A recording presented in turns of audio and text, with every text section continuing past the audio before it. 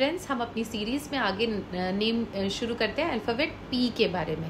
अब जिनका भी नाम पी से स्टार्ट होता है, अगर वो आपकी लाइफ में है, चाहे वो लड़का है, चाहे वो लड़की है, ऐसे वो सोच रही है कि सिर्फ़ लड़के के बारे में बता रही हूँ, पर फिर भी अगर आपकी लाइफ में कोई पी नाम से है तो आप ये समझ लीजिए कि वो बहुत आउट है, बहुत ऑप्टिमिस्टिक है, और उनको बहुत अच्छी सेंस ऑफ़ ह्यूमर है।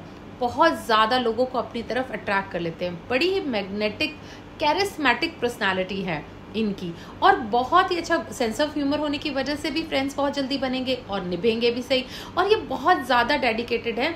अपना काम भी कर लेते हैं, अपने आसपास वालों का भी काम कर लेते हैं। तो पर्सनैलिटी ही ऐसी है कि बहुत लोगों को अट्रैक्ट करती है। तो ये लोग जब आपकी लाइफ में होंगे तो सोचिए आपके साथ कितना अच्छा होगा।